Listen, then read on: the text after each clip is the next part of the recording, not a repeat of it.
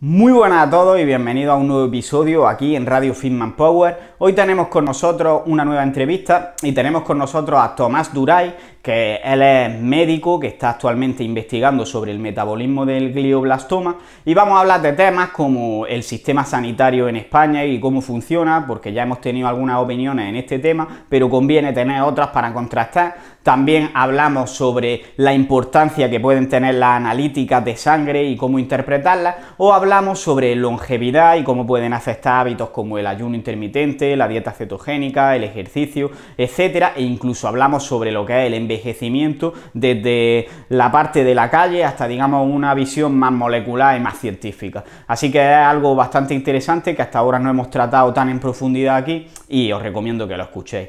Pero antes de empezar con la entrevista, recordaros que tenemos a nuestro patrocinador AudioFit, que te permite aprender sobre fitness, nutrición, ejercicio, psicología, etcétera, mediante audio y que tenéis un mes gratis en la aplicación si utilizáis el enlace que voy a dejar en la descripción. Además, eh, podréis aprender de forma bastante eficiente porque al ser por audio podéis hacerlo mientras estáis cocinando, mientras estáis paseando, mientras sacáis al perro o mientras hacéis lo que sea. Así que nada, si compráis con el enlace me estáis apoyando. Dejo de enrollarme y vamos con la entrevista.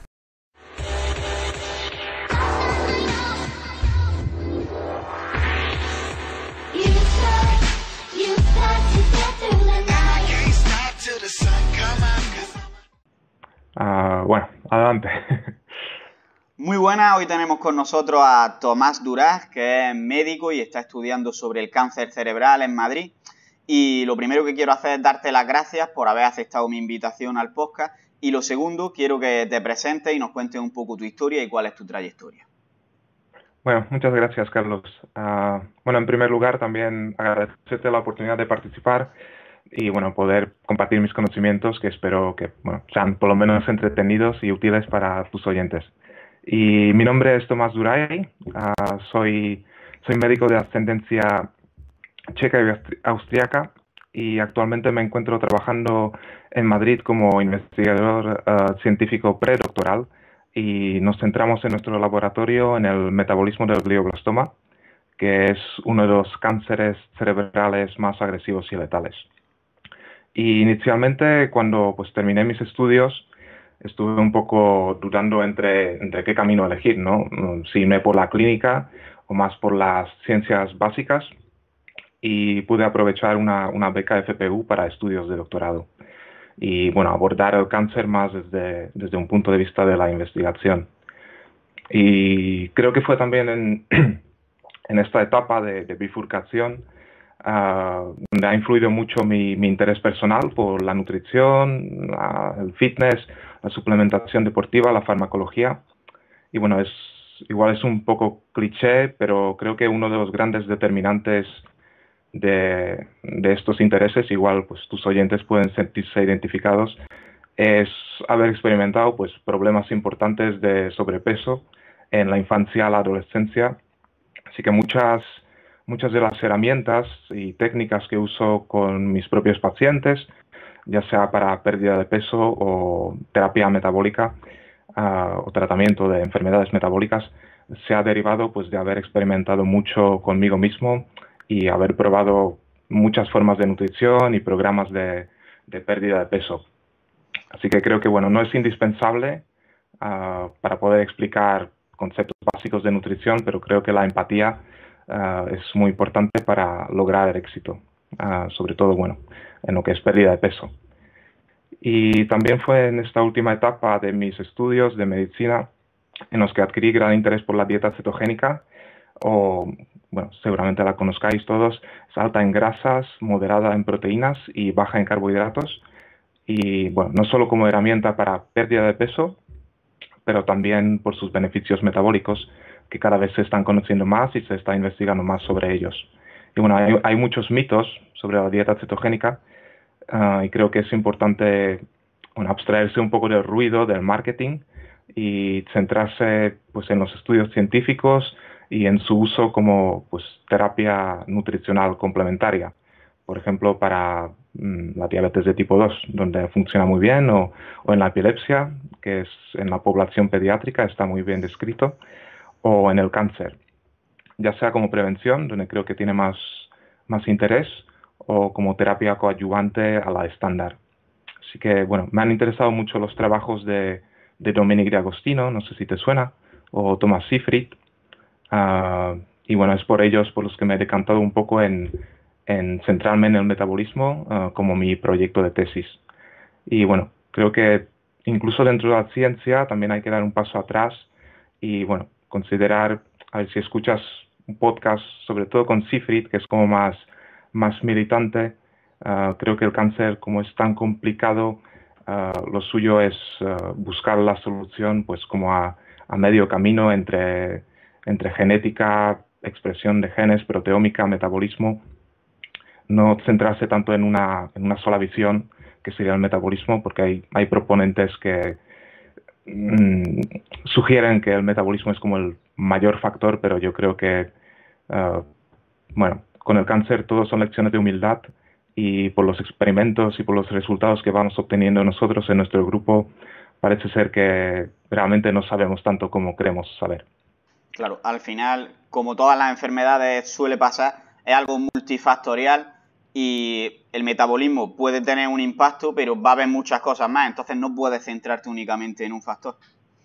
Vale, pues vamos a hablar un poquito sobre todo, todos estos temas a lo largo de la entrevista, vamos a ir centrándonos paso a paso en cada uno, pero antes me gustaría hablar de algo que suelo hablar normalmente con la gente que se dedica en sí a la medicina, que es sobre el sistema sanitario en España y que me dé un poco tu opinión de cuáles crees que son los puntos fuertes y los puntos débiles del sistema sanitario en España. Más que nada para tener opinión de diferentes profesionales en este aspecto.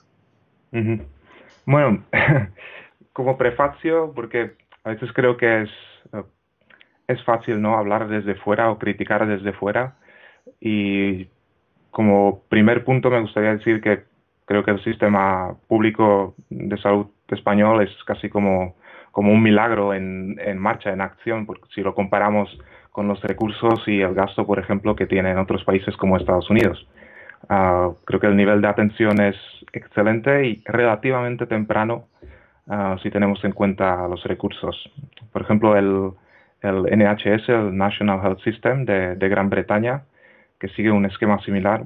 Bueno, en realidad el, el sistema sanitario español eh, sigue un sistema de tipo Beveridge, que es eh, un modelo de atención sanitaria eh, igual a Gran Bretaña, también en Portugal, Italia, y que ofrece una cobertura de salud pues, universal o cuasi universal y es administrado por un sistema nacional de salud, un sistema gubernamental. Luego, en otros países como Polonia, Eslovaquia, o bueno, mi alma mater, la República Checa, ah, encontramos pues cajas de seguros, ah, que son un tipo, un modelo que se llama Bismarck, ah, aunque a efectos prácticos es bastante parecido. El acceso a la sanidad es, es muy amplio. Y bueno, por último están los sistemas privados de salud, como en Estados Unidos, por ejemplo, que bueno, se van uniendo cada vez más a una cobertura básica proporcionada por el gobierno, como es el Medicaid, el Medicare, para los trabajadores. Así que bueno, con todo esto decir que creo que en España somos bastante afortunados de tener un sistema eh, que ofrece una cobertura y unos tratamientos excelentes, pero creo que su punto débil eh, más importante, bueno, lógicamente se deriva de los recursos. O sea, ¿qué pasa cuando a, necesitas tratamiento ahora mismo, en este mismo momento, o B, requieres, digamos, un tratamiento especial, avanzado, muy caro, que no está cubierto por la seguridad social ni está contemplado en, en los recursos, en los protocolos de los hospitales públicos. Bueno, también tenemos hospitales como más privados, ¿no? ligados a diferentes seguros, pero bueno, en mi opinión es que muchas veces algunas terapias pues o opciones terapéuticas ni se ofrecen porque los médicos no están familiarizados con, ellas o, no están incluidos en la subsidiación gubernamental. Ya sabes que muchos médicos pues, trabajan en, la pública por la mañana, por ejemplo, y luego por la tarde en, un hospital privado.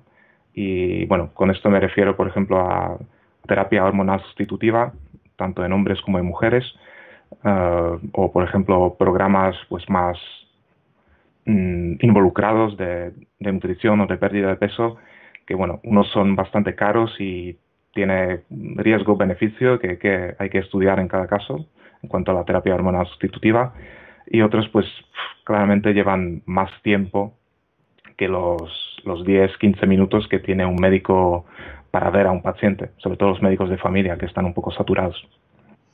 Vale, en resumen, ¿crees que es un buen sistema porque todos tenemos acceso en situaciones normales a, a un sistema de salud público, pero faltan tanto recursos materiales como recursos a nivel humano, por decirlo de alguna forma. Es decir, en muchos aspectos un poquito más avanzados no existe formación en España. Ese sería el resumen, ¿no? Hmm, yo creo que eh, los recursos son adecuados, pero eh, se centran bastante en, lo que es el tratamiento directamente de la enfermedad mediante fármacos. Eh, creo que se liberarían muchos recursos si se usase la prevención primaria, sobre todo para, para prevenir muchas de las enfermedades crónicas que son las que saturan un poco el sistema. Vale. Entonces, mm, ¿crees que el sistema sanitario, bueno, primero explícanos la diferencia entre prevención primaria y prevención secundaria y explica un poquito eh, si crees que el sistema sanitario español debería basarse más en una o en otra. Hmm. Yo creo que debería basarse más en la, prevención primaria, claramente. Ah, creo que la, medicina moderna es, es, capaz de ofrecer pues, soluciones a problemas agudos, ¿no? Muy bien, que se trata de cirugías, infecciones, tratamiento antibiótico, eso funciona muy bien. Eso realmente son los grandes éxitos históricos de la medicina y ofrece realmente pues tratamientos curativos, ¿no? Ah, pero si, si hablamos del tratamiento de las enfermedades crónicas, como la diabetes de tipo 2 o la arteriosclerosis, la enfermedad cardiovascular, los tratamientos son más ineficaces, más crónicos y son más bien un tratamiento de soporte ah, dirigido pues no a la causa de la enfermedad, sino a, mitigar sus síntomas. Y creo que aquí es donde la prevención primaria pues es fundamental. Y creo que aunque no lo parezca por nuestro sistema ah, de alimentos y lo que se vende en nuestros supermercados, un plan nutricional adecuado para prevenir este tipo de patologías realmente puede ser muy eficaz, puede prevenir, evitar la aparición o retrasarla muchísimo tiempo.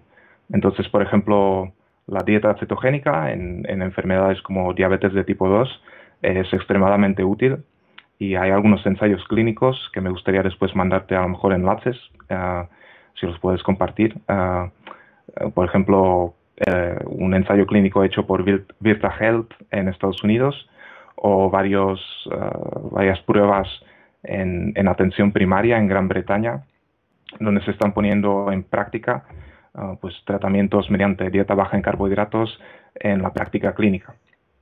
Eso sí, un, punto negativo de la prevención en cuanto a nutrición sería que realmente también es un tratamiento de soporte, porque bueno, solo funcionará mientras el paciente pueda seguir eficazmente la, dieta que le pautamos. Claro, y, eh, Claro, la, cuestión es, creo que eh, los fármacos pues, pueden retrasar la enfermedad, pero no la evitan. Ah, por ejemplo, si empezamos con la diabetes, pues tratamos con metformina normalmente al principio, luego con otros antidiabéticos orales y al final acabamos con insulina. Y eh, no me metería en la política de si es mejor una u otra, igual intervienen muchos factores, obviamente, pero creo que es más justo que tanto, tanto pacientes como médicos pues sepan que estas opciones terapéuticas existen, ah, son bastante eficaces, mm, más o menos con, con, los mismo, con las mismas excepciones que los fármacos. Si el paciente tiene que tomar el fármaco para que sea eficaz, el paciente tiene que seguir una dieta especial para que sea eficaz, pero la opción siempre debería, debería presentarse y ser por decisión del propio paciente eh, si la acepta o no. De hecho, ahora que menciona ahí precisamente el ejemplo de la diabetes, hace un tiempo tuvimos aquí a David Díaz Gil de En Forma a los 40 y nos estuvo contando que él tenía diabetes tipo 1, que mm. cuando fue al médico le pusieron una dieta alta en hidratos de carbono a base de chutes de insulina y él empezó a planteárselo y al final se dio cuenta de que podía reducir y casi eliminar la insulina haciendo una dieta cetogénica y que se sentía bastante mejor y no es algo que lo pueda recomendar a todo el mundo para hacerlo así al tuntum, pero hay que tener en cuenta que es una posibilidad y que puede funcionar en algunos casos y te evitas tener que ir tirando de insulina siempre, ¿no? Sí, bueno, en tipo 1 sí que tendrás que usar insulina, pero sí que se puede reducir la dosis, según lo que he leído y casos clínicos publicados, bastante. Ah, la cuestión es eso. Lo ideal sería que hubiese médicos o nutricionistas, en su caso, pues eh, muy versados, muy conocedores de estos temas ah, y que puedan, pues digamos, supervisar este tipo de, de, tratamientos y no que bueno, el pobre paciente tenga que buscar en Google y ya sabes que bueno, en Internet hay mucha información, entonces tener la suerte de justo dar con alguien que, que, está compartiendo pues información verídica o que también hay que siempre hay que ajustarlo de forma individual, entonces sería mejor ya que el médico es el que prescribe los fármacos, que también sea el que el que conozca estos pues bueno, tratamientos complementarios nutricionales, que no son más, es, la dieta es, eh, digamos, no tendrá la misma eficacia que un fármaco pues dirigido a una diana terapéutica, pero como base creo que pueden funcionar muy bien. Hombre, lo que está claro es que al final mejorar la dieta o hacer ejercicio no tiene efectos secundarios con respecto a lo que pueden tener los fármacos. Entonces aquí podemos pensarnos que puede ser más interesante y si eso es suficiente, igual muchas veces no necesitamos fármacos, dependiendo de, claro, la patología, no podemos aquí generalizar, pero ese es el concepto. Y otra cosa que veo bastante en el sistema sanitario es que se le da demasiada importancia, en mi opinión, a los análisis. Es decir, en el trabajo todos los años te hacen una revisión médica. Como tenga un valor que te salga una unidad por encima de lo que debería estar o por debajo, ya se supone que no estás bien. ¿Qué importancia tienen realmente estas analíticas? A ver, los análisis regulares tienen sus pros y sus contras, como bien has dicho. A ver, normalmente cuando acudimos a nuestro médico de cabecera o en, una revisión de rutina en el trabajo, como has dicho, normalmente se solicitan una o dos analíticas al año para comprobar nuestro estado de salud general. Yo creo que esto es una muy buena práctica clínica, ah, pero también creo que para prevenir muchas enfermedades crónicas, ah, cada paciente debería disponer de la información adecuada y esto quiere decir eh, que se ajuste a su caso específico. Si, si alguien tiene pues sobrepeso, resistencia a la insulina, prediabetes, quizás no solamente necesite una glucosa en ayunas, una hemoglobina glicosilada uh, para ver sus niveles de glucosa, sino también quizás pues la insulina basal, el cortisol o incluso un monitor continuo de glucosa para, pues, para manejar sus, sus niveles. Uh, creo que lamentablemente este tipo de, análisis avanzados sí que no se suelen solicitar, así que, bueno, hay, empresas como Melio con la que estoy colaborando, entonces, bueno, la menciono porque sé que, que, ofrece comentarios médicos y un servicio muy bueno en cuanto a te da resultados en tu análisis de sangre, pero también te intenta orientar a cosas que puedes hacer para, para revertir la situación o mejorar tu, digamos, no tu enfermedad, tu valor alterado en una analítica, ¿sabes? Porque un análisis de sangre es como una foto de tu estado de salud en ese momento, en justo cuando te están sacando la sangre, básicamente. Entonces, eh, cosas como la glucosa, hay, muchas personas que también, pues, como hay con la hipertensión, el síndrome de bata blanca, pues eh, por el cortisol, pues igual tiene un poco más alta la glucosa de lo que la tendría normalmente.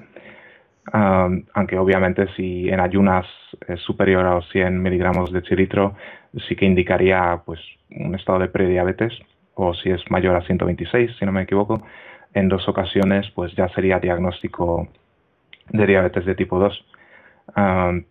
los seguros médicos privados también pueden ofrecer análisis de sangre, ah, pero como he dicho, lo suyo sea que un profesional bien entrenado sepa interpretar los datos y cómo utilizarlos, cómo orientarte o o mandarte a fuentes de información fiables ah, para cambiar pues tu estilo de vida y tratarte con fármacos a corto plazo y a largo plazo mediante nutrición y estilo de vida. Vale, es decir, que al final pueden tener cierta utilidad, pero la mayoría de las veces pensamos que nos dan más información de la que realmente nos dan estas analíticas. Mm, bueno, yo sí que creo que los análisis tienen mucha utilidad siempre y cuando se, se apliquen de forma correcta y con esto quiero decir que deberían ser periódicos en el tiempo para, para seguir un valor a lo largo del tiempo. Sí que no nos vale de mucho que nos hagan un análisis al año donde vean un colesterol elevado y nos digan, bueno, habría que perder de peso y comer menos grasas y bueno, vamos a ver qué tal va. Dentro de otro año nos hacen otro y se ve que sigue más alto o bueno, que está aún peor o bueno, o está igual. Eso sí que se evoluciona a lo largo del tiempo, pero pasa tanto, tanto tiempo que no, no podemos manejar los datos. Lo suyo sería que o médicos estén más pues abiertos a hacer un seguimiento a lo mejor más a, corto medio plazo mediante análisis o bueno pedirlos por nuestra cuenta ah, sí pero como es una foto de nuestro estado de salud sí que sería interesante verlos en cadena y a ver hoy me diagnostican de prediabetes pues ah, hago cambios nutricionales empiezo a hacer ejercicio y dentro de dos meses me hago otro análisis más completo hemoglobina glicosilada, insulina, eh, todos los demás marcadores más, más dirigidos a este tipo de problema en concreto, o lo mismo con una enfermedad cardiovascular, si, si detectamos niveles más altos de, de LDL, eh, sí que queremos tener pues más información sobre tamaño de partículas, uh, el ApoB, Uh, más uh, marcadores más concretos y dirigidos que puedan decir, muy bien, he puesto en marcha una dieta cetogénica, la estoy haciendo pues según me ha instruido mi nutricionista o mi médico y dentro de tres meses pues vemos un cambio importante. Perfecto. Uh, pero no dentro de dos años vemos un cambio. Ahí, bueno, no podemos reaccionar, ¿no? no podemos manejar la situación de forma tan concreta. Claro, es como si te haces una foto, sales feo, a lo mejor te haces tres y dices, hostia, pues no estoy tan feo y ha sido solo esa foto que me ha pillado con mala cara. Pero mm, puede que dentro de un año te veas y salgas peor porque has envejecido por entonces que viene que viene bien como tener más muestras es lo que quieres decir. Vale me gusta el concepto y ahora que hemos introducido un poquito todo esto del sistema sanitario ¿Qué responsabilidades crees que debería asumir cada persona como individuo para el cuidado de su propia salud? Que debería o que puede asumir, porque al final cada uno decide lo que hace. Claro, eso es la cuestión. A ver, yo creo que como uno de los aspectos positivos y negativos del doctor Google, como solemos decir, ¿no? Es que el acceso a la información es hoy mayor que nunca. Entonces los pacientes muchas veces investigan por su cuenta, leen mucha información sobre sus enfermedades. Ah, esto en general a los médicos eh, pues, no les gusta mucho, ¿no? Ah, hasta donde yo sé. No he conocido muchos médicos que les guste que venga un paciente ya con una idea preconcebida de su enfermedad. Ah, pero creo que tampoco es necesario ponerse a la defensiva, sino que el médico pues debería dirigir al paciente a, fuentes de información fiables de las que adquirir conocimientos, porque bueno, ya sabes que Internet es una herramienta maravillosa, pero es como un bazar de segunda mano.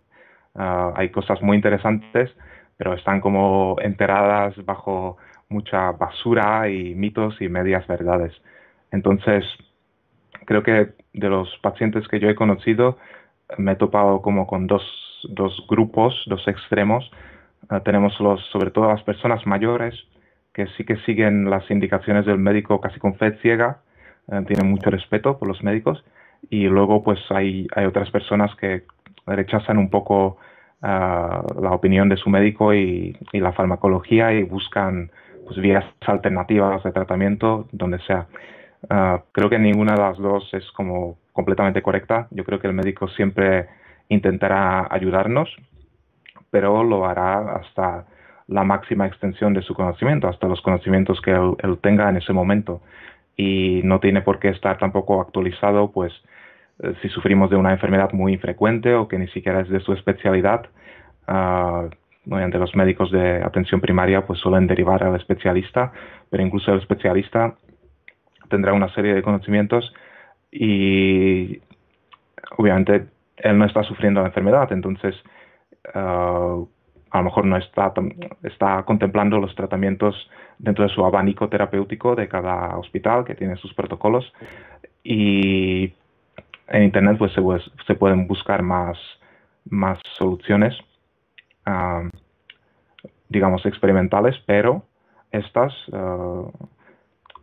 a deberían proceder fuentes de información fiables por lo menos uh, de artículos científicos más o menos en buenas revistas y B, eh, si los aplicamos lo vamos a hacer bajo nuestra propia responsabilidad. No podemos pedir al médico que se haga, que, se que asuma la responsabilidad. Eh, así que, bueno, en, en, resumen, que cada persona, si tiene la información correcta, sí que creo que debería ser la, debería tener la responsabilidad principal sobre sobre la prevención de las enfermedades. El tratamiento ya es otra cosa. Cuando las cosas fallan, el médico se puede hacer cargo y, digamos, actuar de forma más intensiva. Pero hasta ese punto, cada uno de nosotros, eh, para bien o para mal, pues tenemos que, que hacernos responsables. Vale, y entrando un poquito más en esto, ¿cuál sería para ti el concepto de salud y cómo crees que va a evolucionar en un futuro el cuidado de la salud en general después de todo lo que hemos hablado? Acabas con esta parte mm. de la entrevista. Vale. Ah, futuro. Mm, bueno, como he dicho, creo que cada paciente pues debería, guiado por un médico experto en, estos temas, eh, ser guiado hacia fuentes de información fiables sobre nutrición y estilo de vida. Y esto supondría como un 90% de la, de la prevención de las enfermedades crónicas, la diabetes de tipo 2, enfermedad cardiovascular, arteriosclerosis, obesidad, etcétera, etcétera. Eh, y luego el 10% restante sí que sería el uso de fármacos o de cirugía o medidas más ah, dirigidas cuando las medidas preventivas fracasan, ah, ya sea por progreso real de la enfermedad o por incumplimiento terapéutico, que creo que es, bueno, es una posibilidad muy real, ¿no? Ah, especialmente con los alimentos que se venden en, en nuestros supermercados si la persona no es capaz de, realizar o de sostener el cambio necesario, pero que sea por ah, desgaste o por falta de, falta de voluntad puntual, pero que no sea por, falta de conocimiento. Y yo realmente sí que opino que comprender en profundidad ah, pues cómo funciona nuestro cuerpo, uh, cómo diferentes alimentos o yéndonos a un escalón más bajo, macronutrientes y micronutrientes, Ah, el exceso calórico ocasional o crónico, restricción calórica, el ayuno, pues es, una guía mental muy poderosa para instar a los pacientes a, hacer lo correcto, a seguir los pasos correctos. Y bueno, solo somos personas, entonces ah, ah, es cuestión de libre albedrío, pero debemos asumir la responsabilidad y, creo que si hay más interés y deseo de, de bueno, diferentes tipos de alimentos, sanos, entre comillas, sí que se venderán más y habrá más oferta.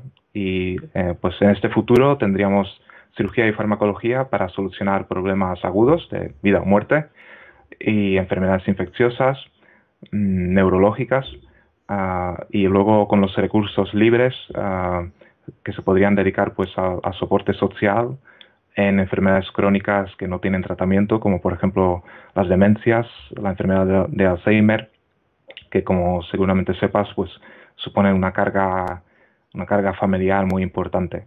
Así que idealmente los, los médicos pues tratarían personas, no números de expedientes solo, y sí que tendríamos pues tiempo suficiente para, para estudiar cada caso en detalle y profundidad. ojalá llegue ese día. Ah, yo creo que se están dando muchos pasos en la dirección correcta, pero bueno, estas cosas llevan tiempo.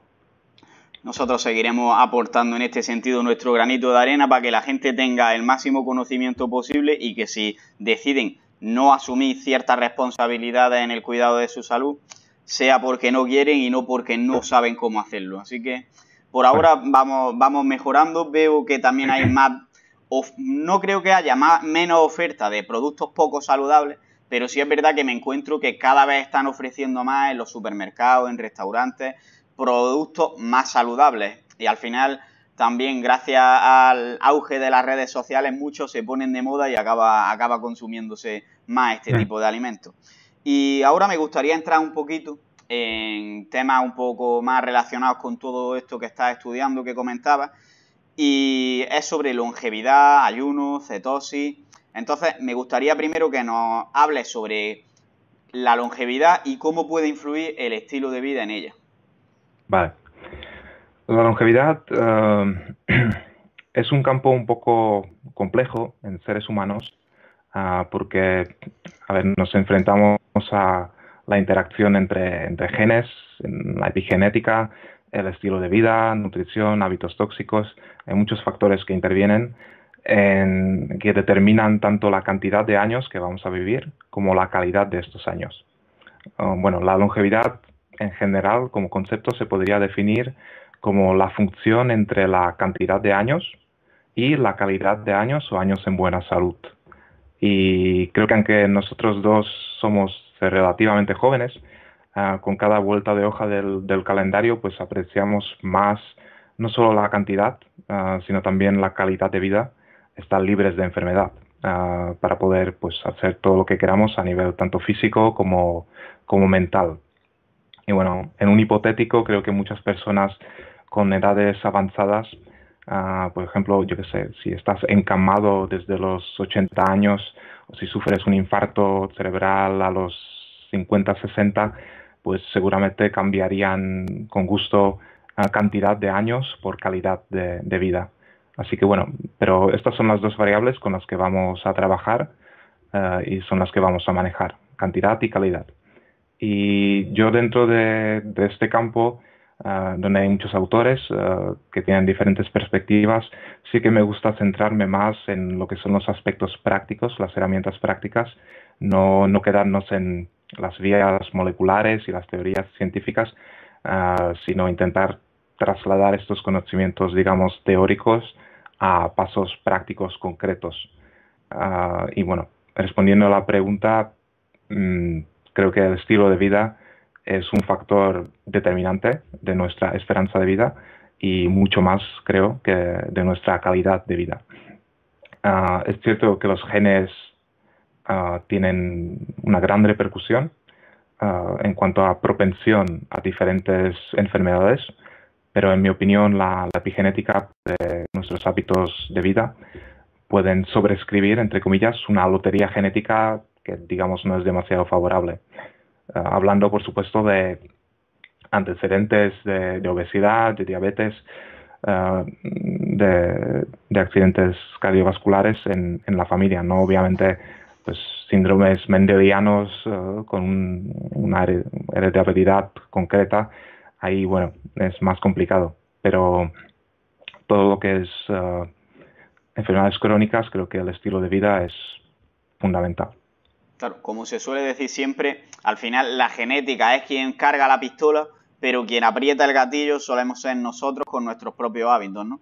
Y hablas de consejos prácticos a este nivel, mm, llama algo que no sea tan etéreo como hablas de estilo de vida. ¿Qué consejos prácticos darías para una mayor longevidad y una mayor calidad de vida a largo plazo? Aspectos prácticos, ah, vamos, a, vamos a ir por partes hay como tres grandes grupos de enfermedades que vamos a intentar prevenir. Y para, hablar de, los aspectos prácticos, creo que es, es buena idea fijarse en los estudios que se han hecho con centenarios, que son las personas que viven 100 o más, años.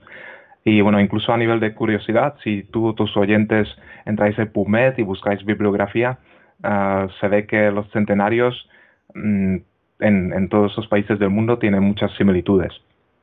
En primer lugar, Ah, parece ser que los centenarios no hacen nada especial para vivir más, ¿vale? No siguen una dieta especial, ni se protegen más, ni, ni no fuman, ni no beben. Ah, los hábitos tóxicos más o menos son iguales que en la población general.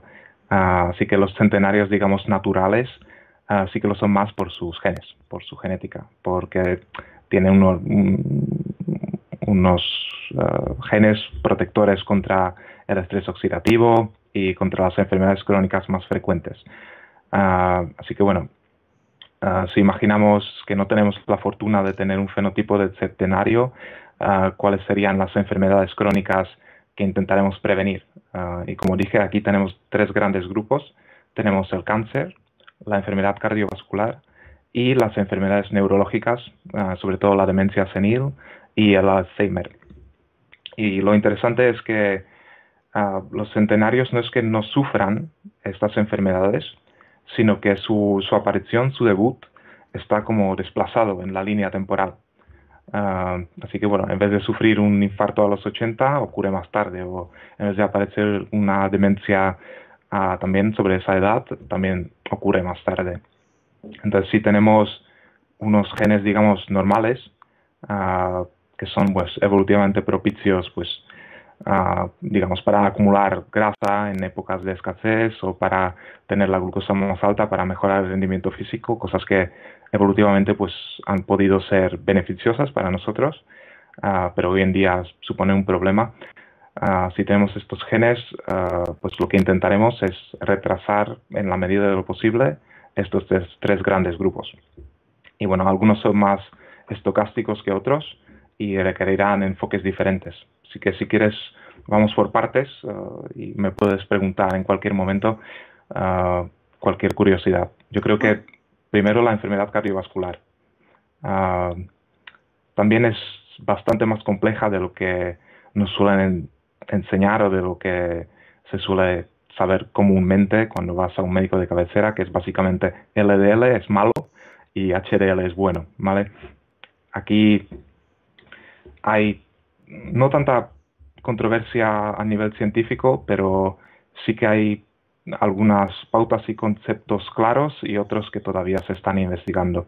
Creo que para la población general que sigue una dieta estándar sí que tenemos como unas pautas claras, ah, pero si uno sigue un régimen nutricional especial, entre comillas, como la dieta cetogénica, ahí la cosa se complica un poco porque los niveles de LDL suelen aumentar, pero hay que mirar qué clase de LDL es el que aumenta así que bueno, para prevenir la arteriosclerosis, la formación de placas de, ateroma en nuestras arterias, sí es fundamental, y esto es un poco volviendo a la importancia de los análisis, eh, conocer nuestras cifras de partículas de, LDL y HDL. como seguramente sepas, eh, LDL proviene de Low Density Lipoprotein, eh, lipoproteínas de baja densidad, que son más heterogénicas, y HDL de alta densidad básicamente son proteínas que tienen colesterol unido. El LDL se encarga de transportar el colesterol desde el hígado hasta los tejidos y el HDL es protector porque tiene como función de, recogida de basura el colesterol desde los tejidos hasta el hígado para su eliminación.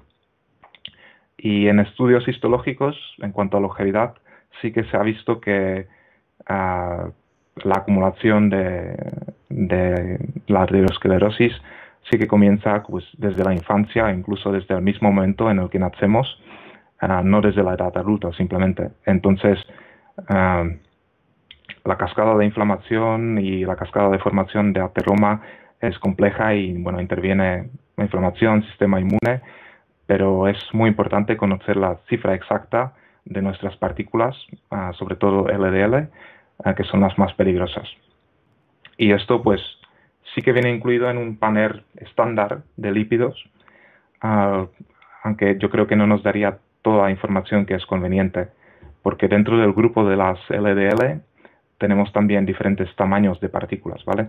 Ah, las, las partículas LDL pequeñas y densas son las más heterogénicas, mientras que también tenemos partículas mm, que se denominan en inglés grandes y esponjosas, ah, que no son tan problemáticas y esto es dentro del mismo grupo ah, de LDL. Entonces, mm, es importante diferenciar entre los tamaños de partículas ya en un, en un panel de lípidos avanzado.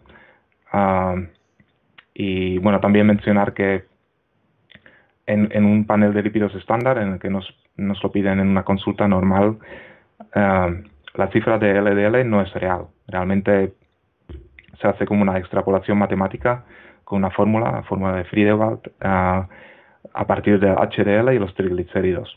Y si queremos conocer nuestra cifra exacta de, eh, partículas de LDL, así que miraríamos el, el ApoB. a veces es un poco complicado convencer a nuestro médico para que nos pida este tipo de análisis, Ah, vuelvo a mencionar a Melio, que están ofreciendo cálculo de ApoB en todas sus analíticas, incluso las más básicas. pero creo que sí que es importante, pues, ApoB, ApoA, el PLLA, todas estas partículas, digamos, más avanzadas de subgrupos dentro del LDL, que son importantes, pues, sobre todo en el tratamiento con estatinas o si vamos a, introducir un tratamiento nutricional para mejorar nuestras cifras de, LDL en una dieta vegetariana, una dieta de pérdida de peso, eh, conocer realmente estas cifras para ver si el tratamiento funciona, como hemos dicho. Bueno, no dentro de un año, pero a lo mejor tres meses y seis meses. también hay, intervenciones dietéticas que pueden reducir el, colesterol. Ah, por ejemplo, si no me equivoco, extracto de alcachofa y ácidos grasos omega 3, aceite de pescado, mm, ah, la niacina, los esteroles de plantas, que sí que son como un suplemento popular.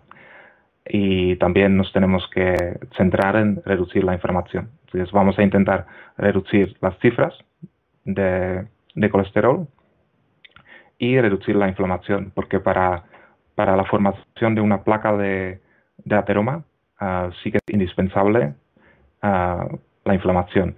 Bueno, aquí pongo un asterisco porque como siempre hay excepciones, pero sin, sin inflamación no hay placa de ateroma. Entonces aquí sí que podemos reducir pues la dieta cetogénica, es una dieta antiinflamatoria, hay otras dietas antiinflamatorias, ah, suplementación o también el ayuno, el ejercicio físico es muy importante, tanto para la construcción de masa muscular, que yo soy más fan, Ah, como el ejercicio cardiovascular, que bueno, a mí personalmente no me, no me atrae mucho por problemas mecánicos de, cara a longevidad, ah, pero en cuanto a beneficios cardiovasculares es, es indiscutible. Vale, entonces, resumiéndolo mucho, sería que al final normalmente nos dicen, nos hablan del LDL, que es el que nos dicen como que es el colesterol malo, y el HDL, que es el que nos dicen como que es el colesterol bueno, pero que estos datos por sí solos podrían, digamos, mejorarse. Es decir, diferenciar entre los diferentes tipos de patrones de LDL y HDL, porque hay partículas más pequeñas y más duras, por así decirlo, que es más fácil que se, se claven, digamos, en nuestras arterias y nos causen algún problema, y otras que son más blandas, tanto dentro del LDL como del HDL, que en este caso no van a ser tan propensas a a la inflamación y la oxidación, que es lo que al final es lo que causa el ateroma. Es decir, que mm, puedes tener niveles altos de colesterol, pero si no existe esta oxidación, no va a darnos problemas. Entonces, otro punto importante, además de reducir los niveles de colesterol, sería el de reducir la inflamación y la oxidación de esas partículas, que se puede hacer con determinadas pautas dietéticas y sobre todo principalmente mediante el ejercicio, ¿no? Mm, correcto, correcto. Vale, pues vamos a pasar al siguiente ah, bloque si quieres. Bueno, si quieres complementar algo, dilo ya. Vale, sí, sí. Ah, creo que nos falta el cáncer y nos falta la, enfermedad ah, neuro, neurológica. Entonces, eh, como siguiente punto, en el cáncer sí que usaremos también las mismas herramientas, intentaremos reducir la, la inflamación con las mismas técnicas de antes, eh, cambios nutricionales, ayuno y ejercicio. Y bueno, en el, caso de esto también es un poco más a nivel personal, aunque existe evidencia científica al respecto, aún no sabemos exactamente cómo aplicarla. Ah, en el caso del cáncer, como prevención, sí que es interesante pues los ayunos terapéuticos más prolongados para, para activar la, autofagia, inhibir mTOR, Ah, por supuesto, vamos a intentar evitar pues, mutágenos y sustancias tóxicas. Ah, no me refiero solamente a, exposición accidental en el trabajo, por ejemplo, pero evidentemente no vamos a querer fumar ni vamos a querer consumir alcohol, no digamos ya otro tipo de sustancias. Y el ayuno terapéutico sí que creo que es la, como la herramienta de prevención de cáncer más eficaz, pero no sabemos la dosis mínima efectiva, no sabemos por ejemplo, cuántos días ayunar o cada cuánto tiempo. Ah, no sé si cada dos días cada mes o, una semana cada tres, seis meses. Creo que nadie lo sabe por ahora y bueno, a nivel personal yo practico y suelo recomendar pues una semana de ayuno cada tres o seis meses, dependiendo de nuestra edad y nuestro estado metabólico de base. Ah, sí que es cierto que para activar la autofagia en, estudios sobre todo con animales, pero también en humanos, ah, se observa a partir de 48 o 72 horas de, ayuno.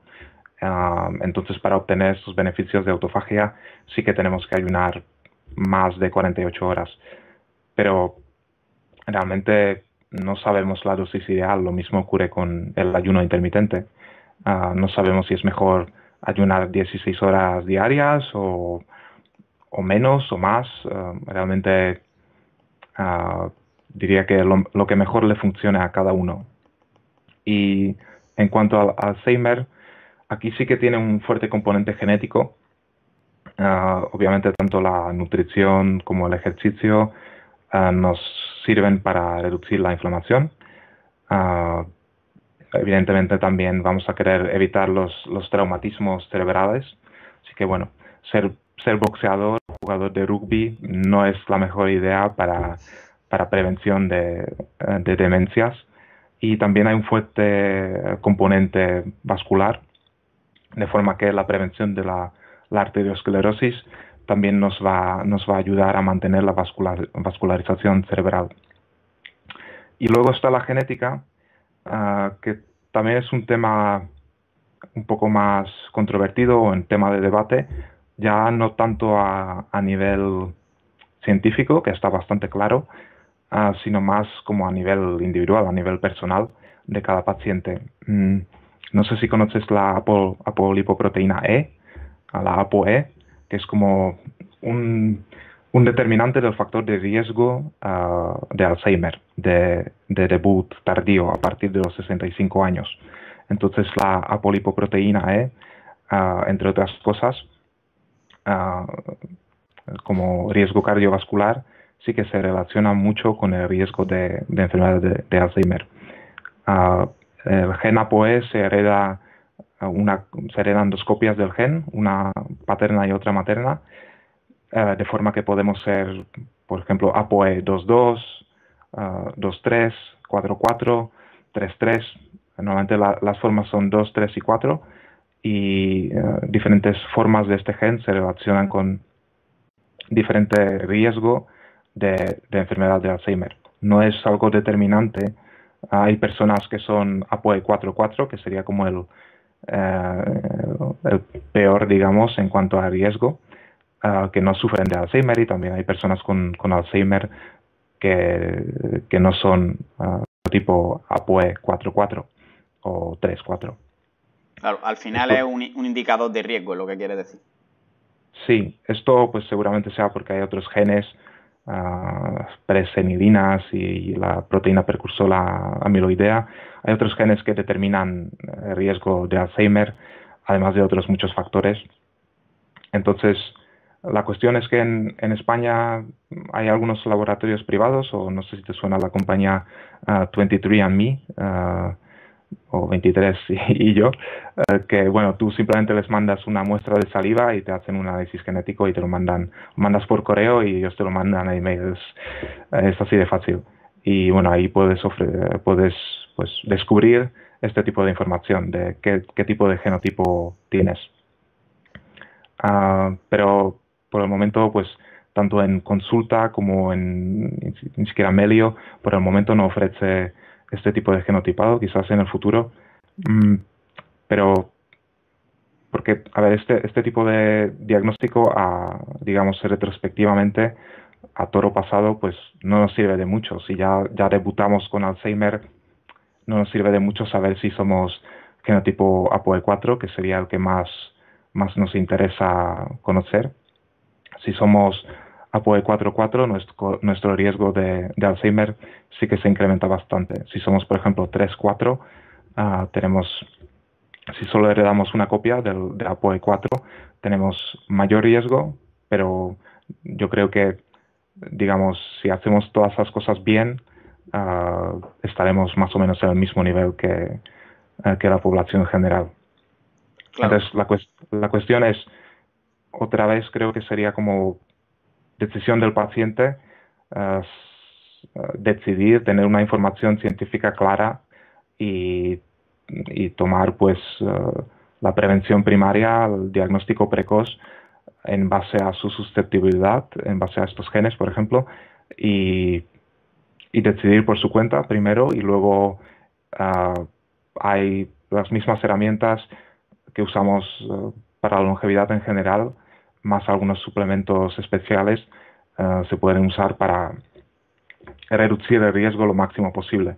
Obviamente queremos empezar cuanto antes, no queremos esperar a los 50, 60 años cuando ya eh, la mayor parte del daño está hecho. El problema con todo esto de la longevidad es que el daño es acumulativo, ya sea en las arterias, ya sea daño neurológico, mm, acumulación de sustancias tóxicas eh, en las células y lo que queremos es, pues, si queremos prevenir este tipo de enfermedades, actuar con conocimiento adecuado para, bueno, no, no hacer una dieta especial cetogénica de por vida cuando no tenemos ningún riesgo, pero si tenemos riesgo, uh, conocer la información y luego actuar sobre ella. Claro. Y el tema de conocer la propensión genética que tenemos puede ser buena o mala dependiendo de a qué persona le dé esa información también porque una de las cosas que no hemos mencionado es que al final en todo esto también el estrés crónico va a afectar bastante también a la inflamación, va a afectar incluso a que tenga más placas en la sangre, que también puede ser mm, formadora de coágulos que también nos pueden tener hacer tener problemas cardiovasculares. Entonces, si te estresa el hecho de conocer que eres APO4, por ejemplo, pues puede que no sea lo mejor para ti que conozcas esa información. Pero claro, mm. ahí entra ya que no sabes si te va a salir que va a ser una cosa o va a ser otra. Entonces puede que o te desestrese mucho o no te estrese nada. Y ahí ya entran temas éticos de dar la información o no, que serían otro cantar. Y hablas también del tema del ayuno, pero me gustaría que matices un poco porque el tema de la autofagia también lo podemos promover de otras formas, aparte del ayuno. Entonces, ¿crees que es tan importante ayunar en una persona sedentaria como puede ser en una persona que hace ejercicio y aplica déficit calórico de vez en cuando? Hmm. Ah, claro, ah, como tú dices, hay que, hay que diferenciar y distinguir muy bien en, todos estos casos que es ahí donde entra la falta de tiempo en el sistema de salud público y bueno, el privado también. Ah, es que no hay tiempo suficiente para sentarnos y discutir durante dos horas eh, con el paciente cada caso y verlo todo muy en detalle. Ah, evidentemente, como has dicho, una persona sedentaria con, con, obesidad o sobrepeso sí que obtendría mucho más beneficio de hacer un ayuno o también implementar ejercicio, que es para mí, habiendo pasado por los dos extremos del peso, es más difícil eh, en una persona, digamos, con sobrepeso importante eh, que directamente se ponga a hacer pues una gran cantidad de ejercicio.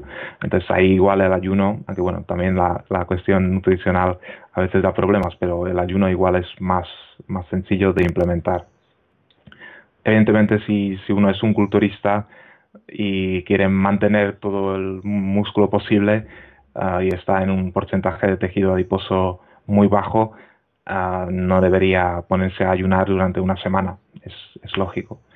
Y el estrés crónico, lo que comentas, ah, pues como dije, creo que debería ser ah, tener la información de qué tipo de,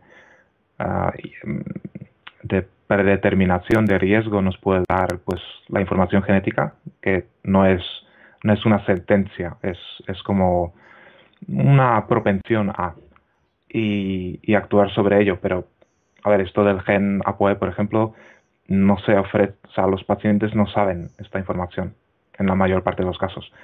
Y a lo mejor en, en una consulta de neurología se suele comentar ah, ya cuando ya te diagnostican con la enfermedad.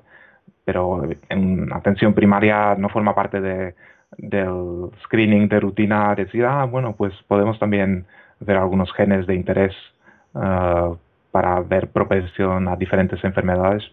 Y aquí tienes 20 eh, folios sobre cómo manejar esta situación y cómo puedes pues, reducir tu riesgo o prevenir estas cosas.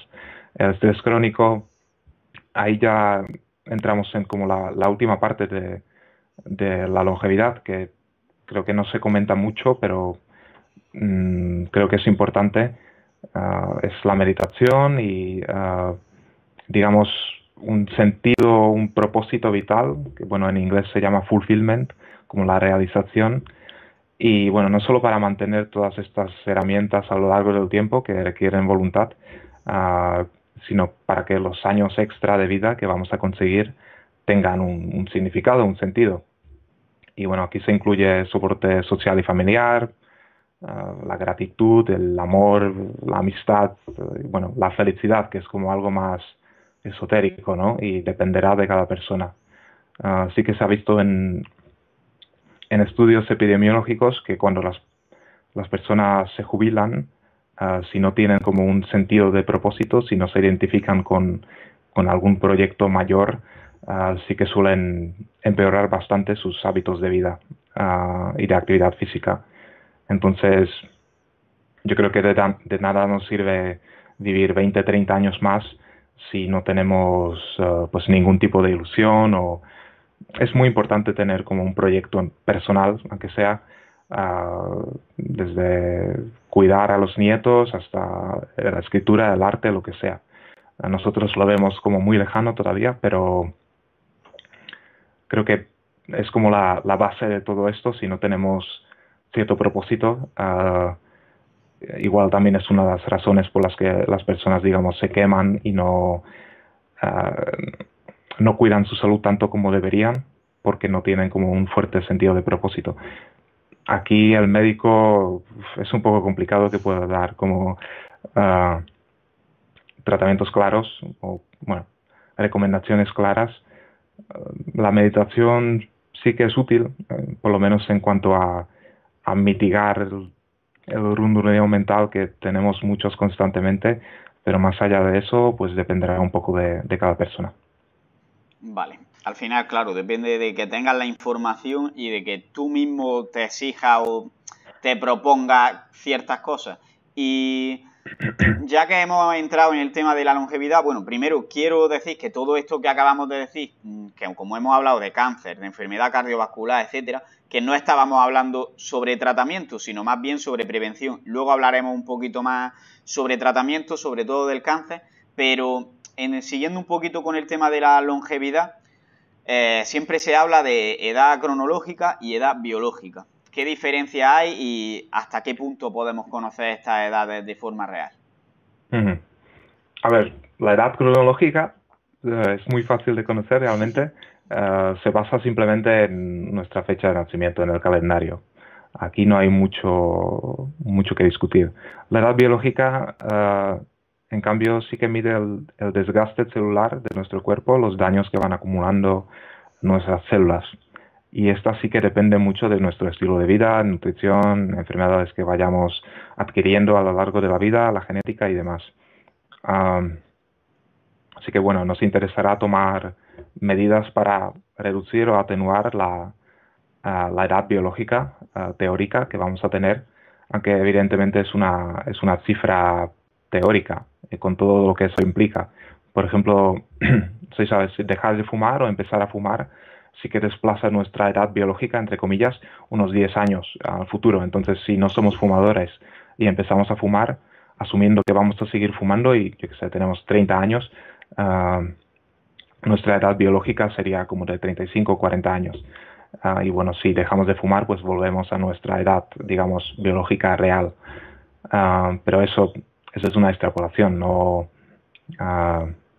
el cálculo de la edad biológica en cuanto a telómeros y demás Ah, a mí no me convence mucho por ahora la, ciencia al respecto. Es, es más una distinción académica y que suena muy bien, a lo mejor para vender algún producto en Internet, pero por el momento creo que un cálculo preciso ah, no es posible. Pero bueno, veremos si en el futuro se están investigando, ah, creo que David Sinclair es un científico estadounidense que habla mucho de estos temas y están investigando cómo medir el, reloj interno de nuestras células, el reloj de Horvath, ah, de Horvath creo que se llama, Ah, pero bueno, por el momento, como a nivel de usuario, no tenemos muchas herramientas. Vale, y habla un poco de el envejecimiento a nivel molecular, del tema de los telómeros. Explícanos, para acabar ya un poquito con el concepto de longevidad y envejecimiento, ¿qué es el envejecimiento a nivel molecular? Es decir, ¿por qué envejecemos, se podría decir? Vale. Bueno, el, envejecimiento ah, no es más pues que, la pérdida de la capacidad adaptativa de nuestro organismo. Ah, creo que históricamente se ha hablado pues de, del desgaste de órganos, de alteraciones hormonales, mm, de genética, de acumulación de sustancias tóxicas dentro de las células. Hoy en día tenemos como una teoría que sintetiza los avances biomoleculares ah, que incluyen los radicales libres, la formación de radicales libres, la glicación, que es ah, la unión de, glucosa, la oxidación de, por parte de la glucosa de diferentes aminoácidos, los telómeros, y el ambiente. Ah, en el ambiente pues incluiríamos las vías AMPK, mTOR, las sirtuinas, ah, que bueno, me gusta mucho, de las que podemos hablar más en profundidad, pero a nivel práctico, ¿en qué se traduce esto? En reducir la disminución de especies reactivas de oxígeno, ah, lo cual vamos a hacer pues disminuyendo la inflamación de bajo nivel, la inflamación crónica. intentamos mantener los niveles de glucosa mm, relativamente bajos o por lo menos estables, intentando evitar los picos de hiperglucemia. Ah, luego sobre los telómeros, ya te dije, a mí por ahora la, ciencia no me convence mucho. Ah, por el momento creo que no tenemos buenas herramientas para ah, actuar sobre la longitud de los telómeros. Tampoco pienso que sean como muy determinantes. Y luego reciben especial atención las vías mTOR y la, vía MPK. Estos son dos proteínas que, están en cada célula y que intervienen en vías de señalización ah, celular molecular para ah, escanear y responder al microambiente de la célula y a los nutrientes que están disponibles. Así pues, en, épocas de plenitud, cuando podemos crecer y madurar y reproducirnos, sí que encontramos una activación de la vía mTOR, que propicia nuestro crecimiento como organismo. Y en épocas de escasez tenemos una inhibición de la vía mTOR y una activación de la vía AMPK, que se activa pues con diferentes estresores celulares cuando nos faltan nutrientes. O por ejemplo por, por fármacos como metformina, que bueno, también estamos investigando en nuestro laboratorio. Y así pues para un envejecimiento sano, entre comillas, buscaríamos un balance de estas vías ah, de deprivación y estrés y también de periodos de, crecimiento, sobre todo creo que en, la maduración, en la juventud. Y, a ver, yo creo que lo que es la activación de la vía mTOR, sobre todo pues en pubertad, edad adulta, sí que la mayor parte de nosotros ah, no tenemos problema mm, con, esto no tenemos desnutrición ni malnutrición en, España, pero lo que es durante la vejez o la mayor parte de las personas sí que digamos que le falta un poco con toda la epidemia de obesidad que estamos sufriendo, periodos pues de restricción calórica o de, de, ejercicio físico, ambos combinados, para activar pues, la autofagia, MPK y prevenir las, las enfermedades crónicas y el cáncer evidentemente en ningún caso vamos a querer caer en, falta de vitaminas o micronutrientes, ¿vale? O sea, no se trata de, no estamos buscando malnutrición, simplemente queremos alternar periodos de, crecimiento ah, y periodos pues de, de, ayuno, autofagia, restricción calórica como medidas preventivas a largo plazo, nada más. Claro, que a lo largo de toda nuestra evolución, digamos que esto ha venido de forma involuntaria, pero ahora tenemos tal disponibilidad de alimentos, tal facilidad para no movernos, que al final eh, tendemos a estar siempre en un extremo o en otro. Entonces, tenemos que voluntariamente hacer ciertas cosas para equilibrar estas dos vías, de la MPK y la mTOR. Y al final son lo que llevamos hablando todo el rato de ejercicio, una dieta adecuada y herramientas ya como puede ser el déficit calórico o los ayunos.